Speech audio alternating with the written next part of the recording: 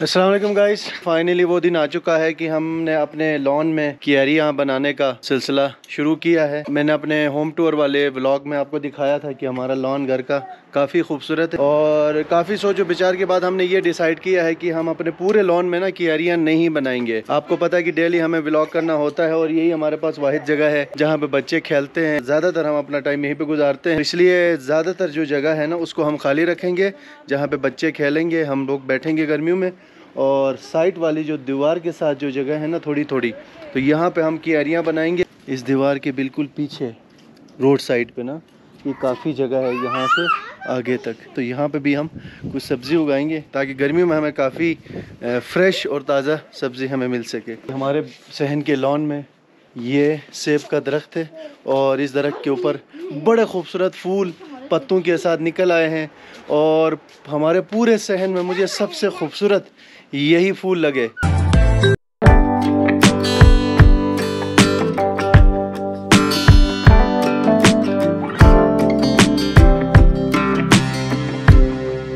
लोगों ने मेरी बाइक के बारे में पूछा है कि आपने गाड़ी तो ली है, लेकिन आपकी बाइक किधर है? बाइक कहीं भी नहीं है मेरे पास है और जो काम मुझे बाइक दे रही है ना कोई चीज़ नहीं दे सकती। गाड़ी की भी ज़रूरत है जब हम फैमिली जब एज ए फैमिली हम कहीं दूर जाते हैं घूमने के लिए तो उस वक्त हमें गाड़ी की ज़रूरत पड़ती है, लेकिन उसके अलावा जो घर के ज़्यादातर जो काम है ना, वो मैं बाइक से पूरी करता हूँ। पिछले एक साल से मैं रेगुलर बाइक चला रहा हूँ तो उसके काफ़ी काम थे। इंजन का छोटा सा काम था तो छोटे मोटे काफ़ी काम निकल गए थे। मैकेनिक की मुझे कॉल आई है अभी अभी कि आपकी बाइक ठीक हो गई है तो आप आके ले जाओ।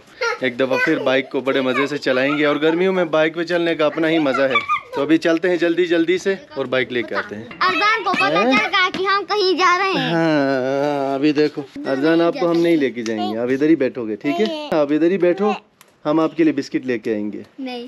ठीक है? नहीं ना। है? बैठोगे ना इधर? नहीं। नहीं बैठोगे आओगे हमारे साथ? ये देखो अभी ये किसी कीमत पे बैठेगा नहीं। और इधर से यमुना तैयार खड़ी है। साथ जाने के लिए और इधर अरजान तैयार खड़ा है। आ जाओ अरजान आ जाओ आ जाओ आ जाओ आ जाओ आ जाओ। जाओ आ जाओ। अरजान काफ़ी चल रहा है खुद से। ए, क्या हुआ? ए, क्या हुआ? ए, कैमरा वीडियो बन रही है। नहीं बनाओ वीडियो। क्यों? अच्छी बात है ना वीडियो में आना। इस तरफ़ उठता है इस तरफ़ है? इस तरफ़ उठता है। किस तरह? इस तरह। हाँ। ऐसे उड़ता है फिर क्या करता है? घर पे घर पे इस तरफ़ इस तरफ़ उड़ता है। हाँ तो आप हेल्प करो ना भाई की। अरजान अभी चलना सीख रहा है तो इसकी हेल्प करो ना तुम यमुना। करोगी ना हेल्प अरजान तुम बैठो आराम से।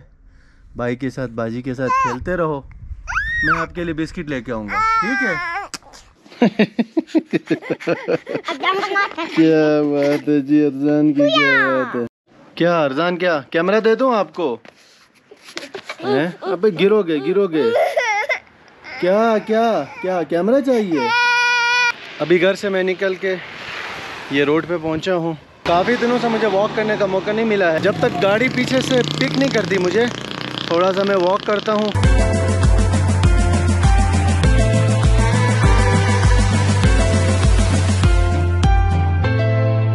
सांस तो काफ़ी चढ़ रही है इस चढ़ाई को चढ़ते चढ़ते लेकिन मज़ा आ रहा है इस वॉकिंग का। आधा से ज़्यादा सफ़र मैं कर चुका हूँ अभी आधा रहता है। अलियाबाद बाज़ार तक। फाइनली फाइनली 25 मिनट में मैं अपने घर से अलियाबाद बाज़ार पहुँचा।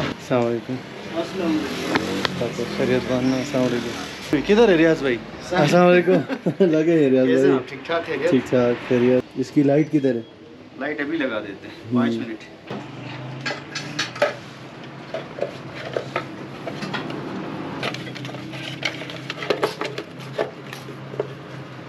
हमने अपनी बाइक का पूरे एक साल में ना काम ही नहीं कराया था। पूरे साल तक दबा के चलाई इस वजह से काफ़ी काम एट ए टाइम निकल गए तो ये रियाज भाई लगे हैं पिछले दो दिनों से। आज तीसरा दिन है मुसलसल हमारी बाइक पे लगे हैं। क्योंकि अभी सीज़न शुरू हो गया ना समर का घूमने फिरने का। तो बाइक तैयार होगी परफेक्ट होगी तो आराम से हम समर में घूमेंगे। जब मार्केट में चीज़ नहीं मिलती है तो बहुत परेशानी होती सही है बात है। वाकई में गाइज़ ये सबसे बड़ा इशू है सुजुकी 150 बाइक का यहाँ पे छोटा सा छोटा पुर्जा भी मिलता नहीं है। उसके लिए ऑर्डर करना पड़ेगा पिंडी लाहौर से चीज़ आएगी फिर लगवाना होता है। जो चीज़ नहीं मिलते ना रियाज भाई थोड़ा जुगाड़ करके उसको ठीक करने की कोशिश करते हैं। तो यही ऑप्शन है ना रियाज भाई इसके अलावा कोई हल नहीं है। सबके लिए कर भी करते भी नहीं है। सही। ये रही हमारी बाइक के मिरर्स ओरिजिनल मिरर्स और ये मिरर्स मेरे एक सब्सक्राइबर ने भेजा है बहावलपुर से। अभी रियाज भाई लगाते हैं।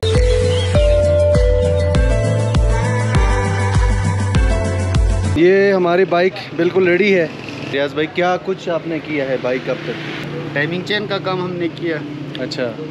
इंजन में थोड़ा बहुत शोर था जिसकी वजह से टाइमिंग चेन इसकी ये है कि सुजुकी की पंद्रह मॉडल है ना? हाँ हाँ। पंद्रह मॉडल की थोड़ी जल्दी खराब होती है अच्छा इसके चिमटे के बुश लगवा दिए जो बिल्कुल हाँ, जो कि थी चीज़ मेन चीज़ जो आपकी थी। दूसरे इसके स्टैंड डाले हमने। अभी ये आवाज़ भी काफ़ी बदल गई है। यानी इसको सोबर आवाज़ कहेंगे। हम्म, जैसा आप चाहते थे। बिल्कुल बिल्कुल।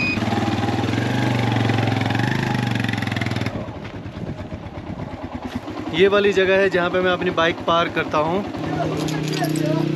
ये आंटी बीबी खदीजा हमारी हम सही है। और ये टोटली ना माल मवेशी के साथ सुबह से शाम तक बिज़ी रहती हैं। तो माशाल्लाह इनकी बड़ी ज़मीनें हैं गाय रखी है इन उनकी बकरियाँ हैं। दूध छूत आपका अपना घर का है ना आंटी?